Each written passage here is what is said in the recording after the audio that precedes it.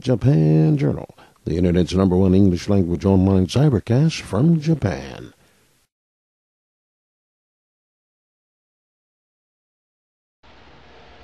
Good day, everyone, and welcome yet again to this edition of Japan Journal, the Internet's number one English language online cybercast from Japan. I'm your host, Mal Adams. And today I have a special guest, someone who I've been acquainted with for over 25 years, a longtime friend. Met him here in Japan, uh, Mr. Stanley Cowell. He was born May 5, 1941 in Toledo, Ohio. He's an American jazz pianist and founder of the Strata East Records label.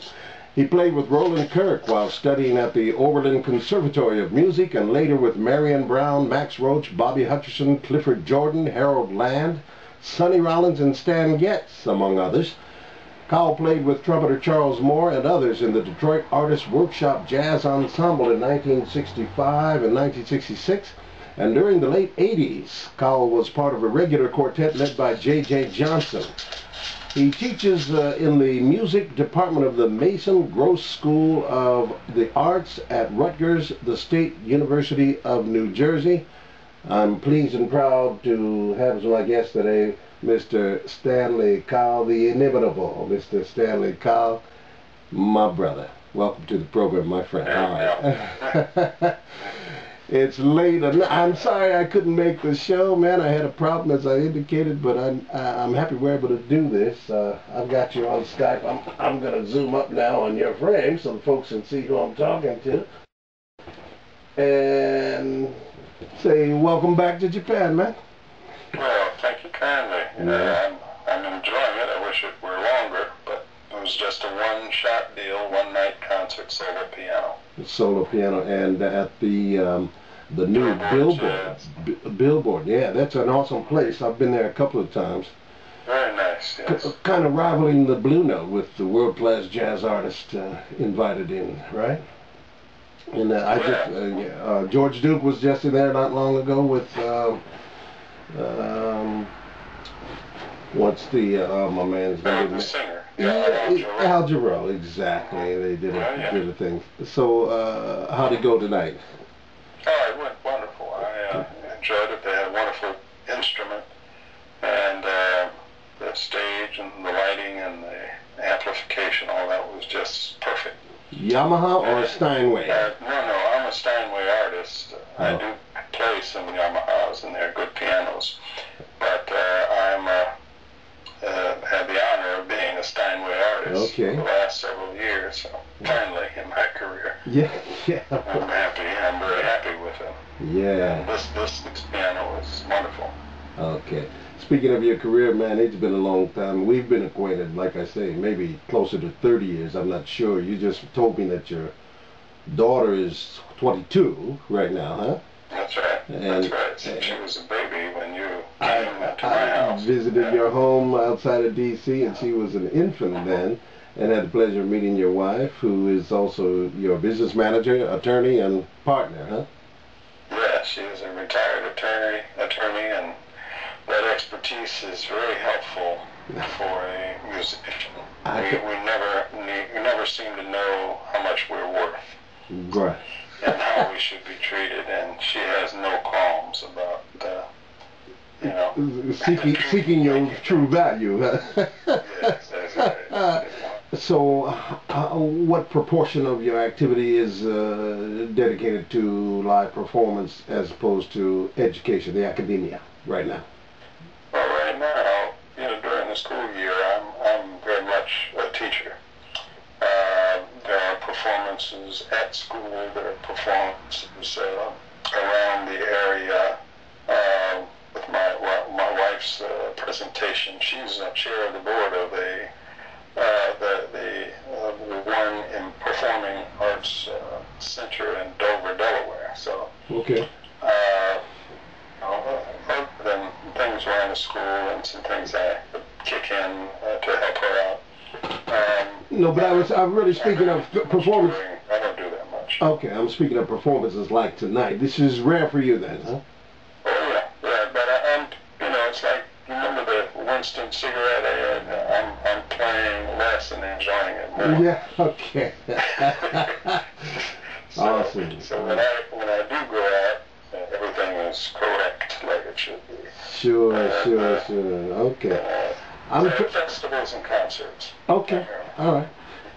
Well, we did the uh, the uh, the African American Heritage Festival with uh, a septet, I think, it- or sextet, Hmm. Okay. and that was where that you gave me that video um, of that concert, uh, and they you also gave me a video of Miles. Yes, yes. Actually, you know, that I. was that was in the '80s, I think. Okay, you were the first person that I uh, gave that video to, and Yeah. it's interesting that after you, Michel Petrucciani uh, bribed me for for the video. Uh, Okay. is he still living? No, no, Michel passed away. He passed. he, had a condition, and uh, he's a very creative player. Oh, incredible! Yeah, Yeah. yeah. Michel Petrucciani uh, traded a, a sign, an autographed book of Miles's autobiography, which Miles signed. He gave that to me in exchange for the video. so that was, that was a fair exchange. And then, uh, of course, my good friend and brother Buddy Williams from Brooklyn, the the, the jazz drummer's drummer, you know. Uh, of course, uh, I shared that with him, and uh, Roy Haynes got a copy of that video. Okay, well, a couple of people have it. yeah. Other than that, I've been sharing it by little pieces and uh, bits and pieces on YouTube, which uh, you know I just don't know what to do with it. I think I'll donate it to. If you have an idea where I can some archive institution or something for music, let me know, and I'm going to contribute that.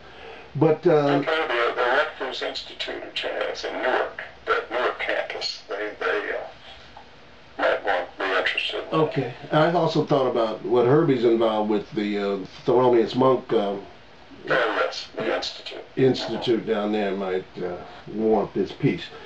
But uh, let's talk about you, man. Uh, so Toledo, Ohio, Art Tatum. I'm looking at a video of him on YouTube the other day, and boom, there you pop up. This was two days ago.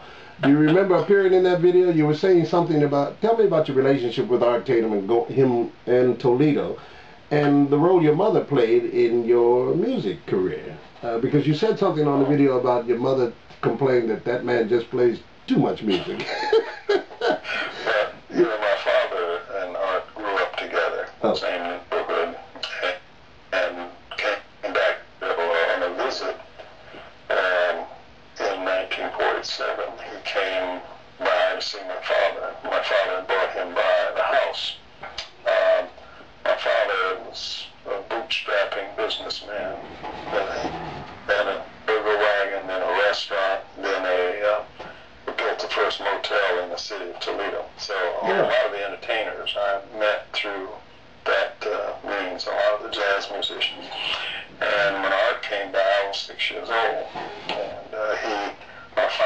father wanted him to play, and uh, so he plied Art with a drink, and so Art said, uh, "Okay, well, have your son play something for me first. And I tried it out, John Thompson, Book Three, Oh, and wow. played uh, something from there, and then Art sat down and killed the piano, and uh, he played a tune called "You Took Advantage of Me," by the way, and it happened to have been the first tune that I recorded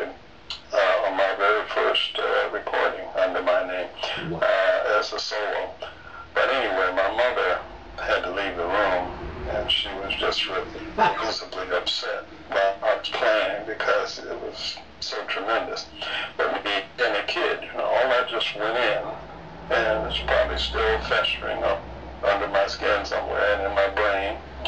And uh, uh, that's what happened when the producer asked me to play a solo number on my first recording, which was a trio record. I had no intention to play a solo number, but this thing just off my head, Oh man, and uh, that's that's kind of the, that's the story there. that is incredible, man. That is incredible. I got that on tape. awesome, I awesome. got smacked in the head by that Tatum. Oh my As a kid. God. Oh my, that pretty much explains it, man. And the rest, as they say, is history. Huh? Yeah, well, you know, I, I really didn't want to play. Uh, my my style of playing was more lyrical, not a lot of runs and stuff.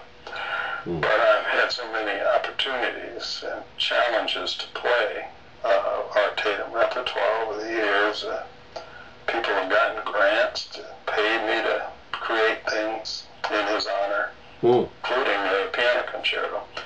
So uh, all that stuff is how part of my, you know, persona now, part sure. of my musical sure. persona. How, how do you how do you approach an explanation or an understanding of that man as an artist, man, as a genius? I mean, what's your spin on that? I just say he's at the apex of piano playing. You know, he's uh, not the epitome, but the apex wow. piano, uh, jazz piano style, and any piano, because one of the greatest classical players uh, said that he was the greatest. Wow. So. And how did he come? Is that just a gift? Is that a gift from God, man, or what? I mean, did he study? Was he's a virtuoso? Did he diligently? He had the opportunity to study. He's a very good teacher, and of course, the teacher said that at about 14 years old, he, he taught him everything he knew. Okay. and uh, he, uh, so, but some of it certainly would be hereditary, uh, somewhere, you know, Ooh, in his karma. Yeah. He's, he had that. He had that potential to to be a, a great uh, artist. And now you differentiated your style being more lyrical than his. Are you suggesting that JP JP Johnson and Fats Waller and those guys that stride thing, man? Huh? Yeah, he crystallized all those guys from okay. Jelly Roll right on up through Fats. Uh, he, he crystallized all those early styles. That was before my time. Yeah. And the players that I liked were the lyrical players like Tommy Flanagan, like uh, Jones. Oscar? And then, of course, no, not Oscar. Not Oscar. Bill Evans. Bill Evans. And then later, uh, the Tatum thing kicked in again. Mm-hmm. For real in my life. So my my lyricism, I think, still persists, but uh, I can approach the the virtuosity mm. uh, that Tatum employed. Awesome. Uh, okay. But I say approach. Yeah, right. That's a, that's a long approach, man. But not, no, probably not in this lifetime. Unbelievable. And, you know, the thing is, it's like Lester Young said, you gotta, the, you can't join the throng till you play your own song. Yeah. Okay. So that's the ideal, and that's the, the, the goal of all jazz musicians to find their own voice. Yes, well, you, you certainly uh, uh, recorded a lot. I'm looking at your discography right now on another page, and Japan Journal, the internet's number one English language online cybercast from Japan.